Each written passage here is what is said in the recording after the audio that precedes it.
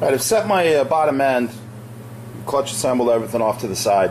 Uh, another thing that we do in here, whenever I'm doing an engine, I won't do an engine without doing a water pump seal and a bearing. It doesn't make any sense. So uh, we're going to change the water pump seal in here just by removing this little clip. Be careful, these can go flying across the shop.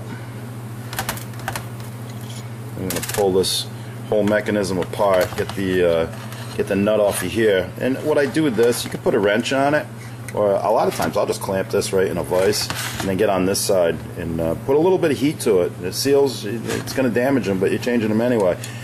Uh, Loctite on this, red Loctite always. I'm going to assume the guy before me did it, so I'm, I'm, going to have a hard time getting it apart if I don't put a little heat to it. So just heat this part of it up for a couple seconds, 10, 15 seconds. It'll get it warm enough to where you'll be able to extract that impeller. Just took the uh, clutch cover out of the ultrasonic cleaner, all nice and spick and span. Took my old seals out and uh, the old bearing out. I have to caution you when you put this back together, actually, even before you take it apart, you have to make note of the direction that these uh, seals go in. It's, it's absolutely critical. If you put them in backwards, they're going to work backwards. You're going to get water in your oil. It's just going to be a mess, you know, vice versa. So make sure you pay attention how these came out. I'm going to show you how to put it together. And uh, we're going to start with uh, the first seal going into the uh, case from the opposite side. I'll get this flipped around and show you.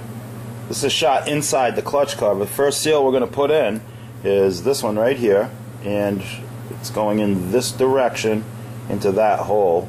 And the Yamaha part number is 93102 12321. I'm going to wash my hands. I'll be right back. We'll put this together. Well, that first seal in where it goes, and, and a lot of times we have special drivers that we use for this. We actually make them if we need them, and uh, I just you know, put it inside the seal and just push it in there until it's flush. Uh, next thing I'm going to do is I'm going to drive the new bearing in. It's right there.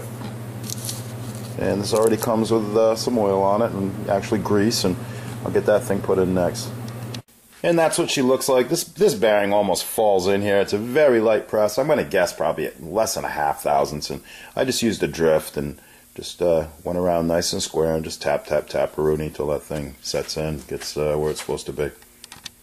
Okay, we're ready to throw the actual water pump seal in. Uh, Yamaha part number is 93109-11073. Very important the direction the seal goes in. If you look at it, get a flat spot on this side. You want that down. And again, we just use uh, a little pusher. I'm just going to put that on there and put that seal right in there.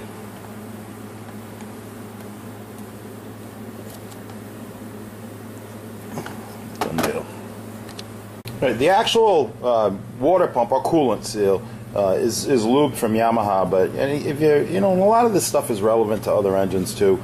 Make sure you get some uh, seal grease in there if it doesn't have any. The other seal behind this has no seal grease. I'm just going to use a pick put a little on there and just go inside, move it around a little bit. Here's the drive for the impeller. And just make sure when you're looking at this, you can see some marks here, you can't feel it. You shouldn't be able to feel any ridges on this. Um, if you do, you, you're going to develop a leak. So, And be careful when you push this in. This is coming in from this side. And just make sure there's no burrs here. This has a nice chamfer on it. And just make sure you're not going to tear the seal up when you push this in. But this is the next piece that's going in. Went ahead and got my drive unit in, put my uh, clip back on, a little retainer, thrust washer, whatever you want to call it. And then on this side, we're going to install this washer.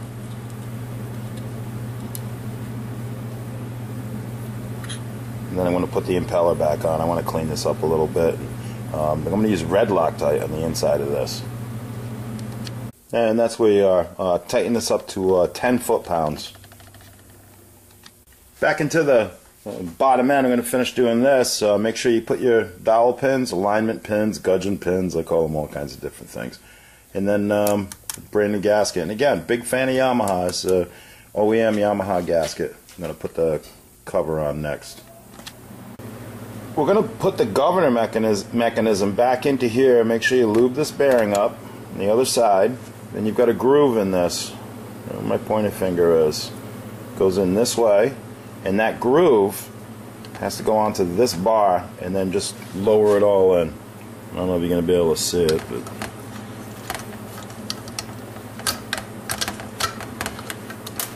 kind of tough to run a camera and do this. I mean, I'm way away from it, but obviously anything we're doing here, this is an instructional video. I'm trying to give you the best way around this, but uh, off camera, rest assured, everything here is getting rechecked, but that's what you want it to do. Fall right in just like that.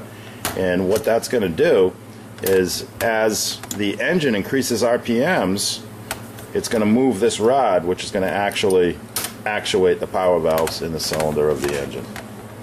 Next step is just slide the cover on. Obviously, this camera is right in front of this engine, and I'm not going to be able to show you this as I do it, but I'll give you a couple of couple of pointers.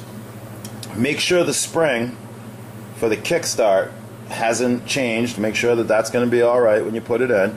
Um, you got your pins in, you've got your gasket in, and then as far as this goes, this cover, just hold this rod down when you're pushing the cover on, and that'll retain the, the governor mechanism. Make sure that happens. Water pump's not going to go anywhere.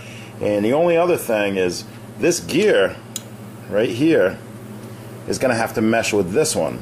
So as you're bringing this cover down, you may have to turn this just a little bit. And this gear is also going to mesh with this.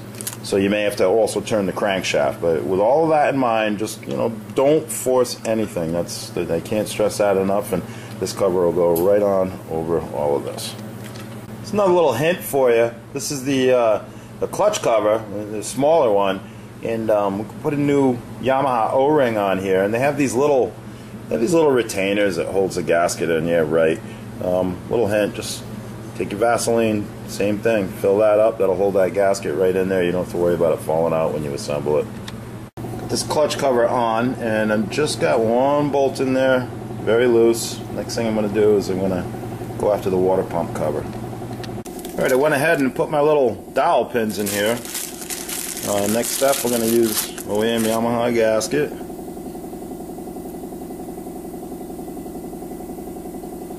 Set that on. Get your water pump cover on. Once you get the cover on, you're going to find when you go through your bolt selection that all these clutch cover bolts, you have three of them that are uber long. Two of them go here, and the other one goes right up here. Next thing I'm going to do is I'm going to put all the bolts in all the way around, and then uh, I can get a pretty good feel. I don't mark bolts, and you don't you don't have to. They all have to stick out the same amount. It's pretty simple, but I'll get all of these bolts where they go, and I'll show you what I'm talking about.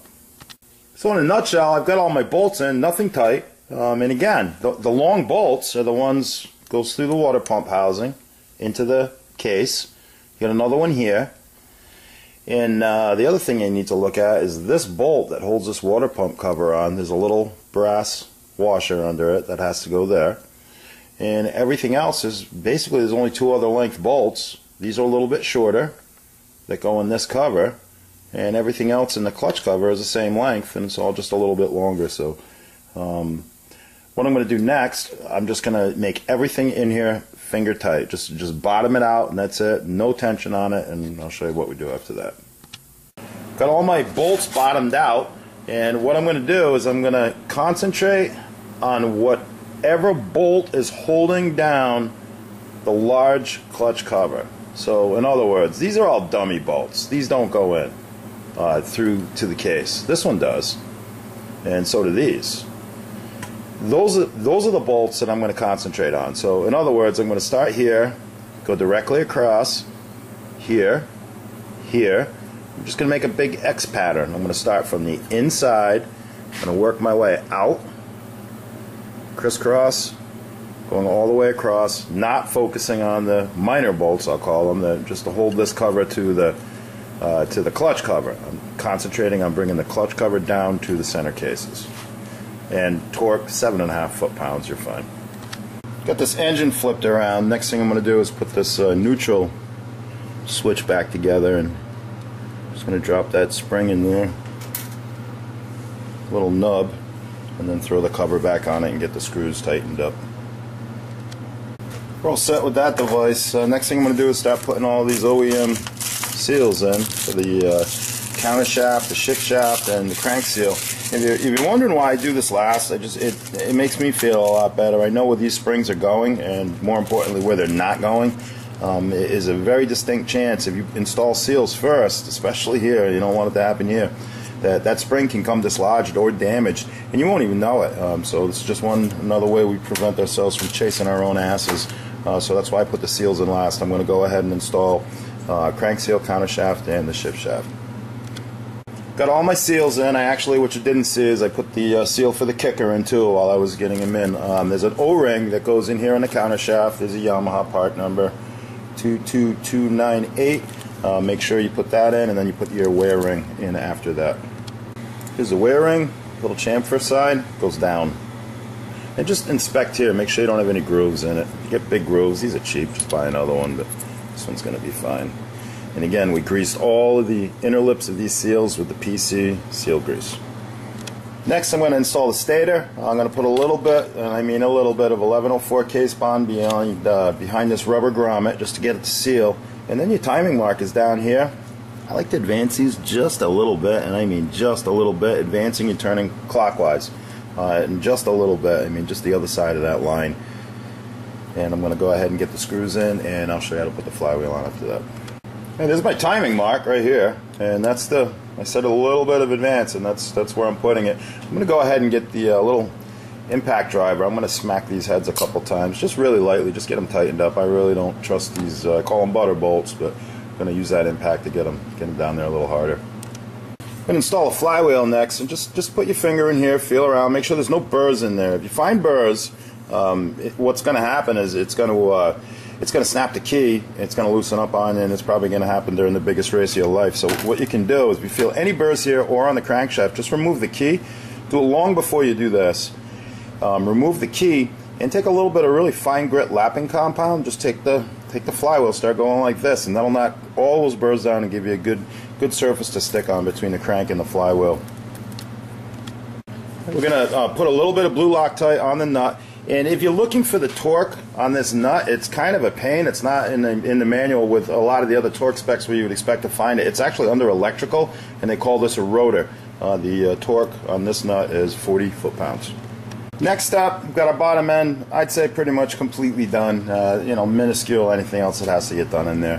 Uh, we're going to put the top end together. I may or may not make a part three on this and show that, but right now uh, I am going to film it.